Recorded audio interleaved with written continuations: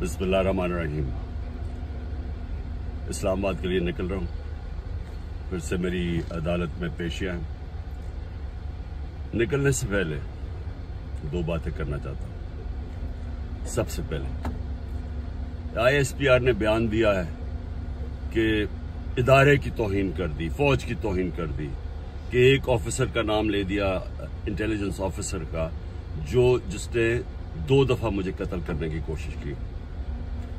ISPR साहब, जरा मेरी गौर से बात सुनो।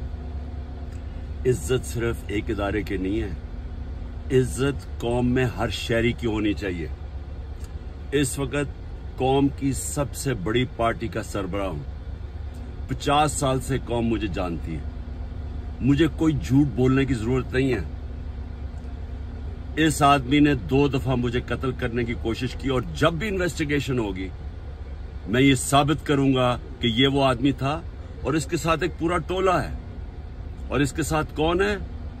वो भी कौम, सब कौम को पता है। आज सोशल मीडिया के जमाने में सबको पता है वो कौन है। सवाल मेरा ये है कि क्या एक मुल्क का एक्स प्राइम मिनिस्टर क्योंकि इस आदमी का नाम आ गया, मैं अपना एफआईआर नहीं कटवा सका?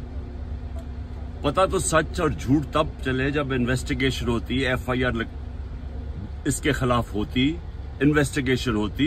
अगर ये बेकसूर था, सामने आ जाना था।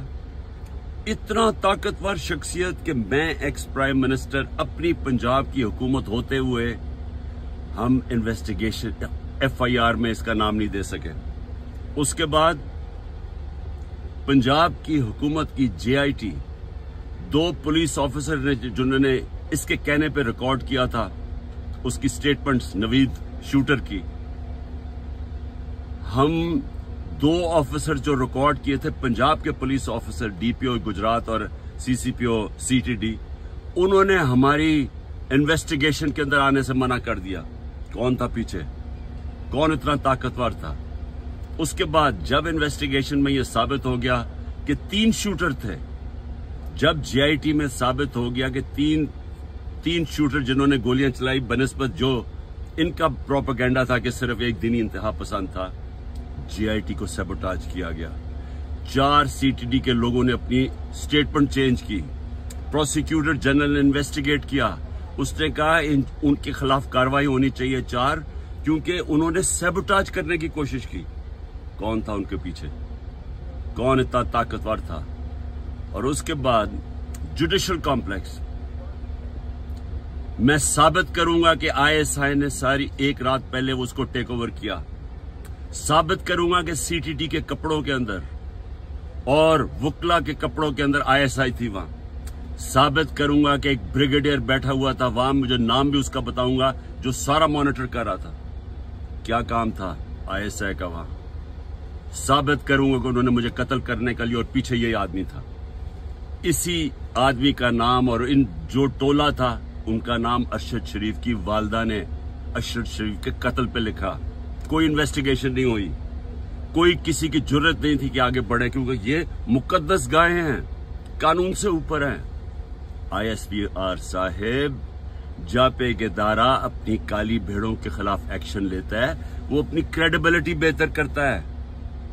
एक जो इदारा करप्ट लोगों को, दो नंबर लोगों को पकड़ता है, वो इदारा मज़बूत होता है।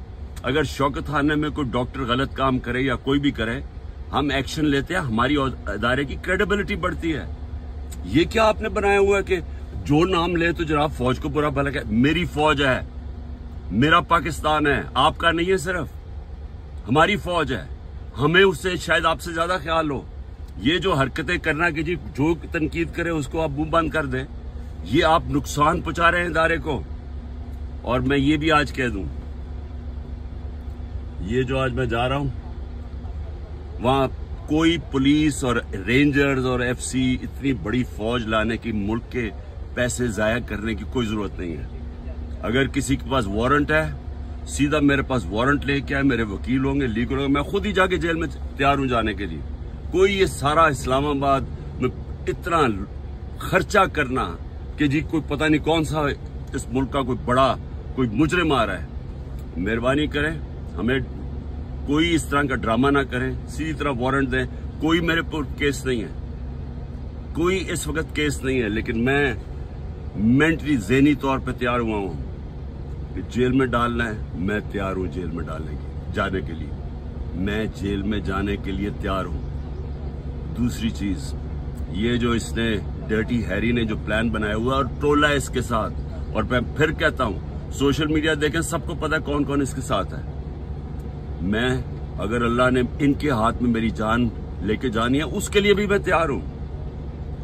लेकिन मेरा आज सवाल यह है कि क्या आप लोग तैयार हैं? जिनकी पाँच उंगलियाँ घी में हैं, जो इकतदार के मज़े ले रहे हैं, जो पैसे बना रहे हैं और पैसे बचा रहे हैं एनआरओ लेके, क्या आप सब तैयार हैं?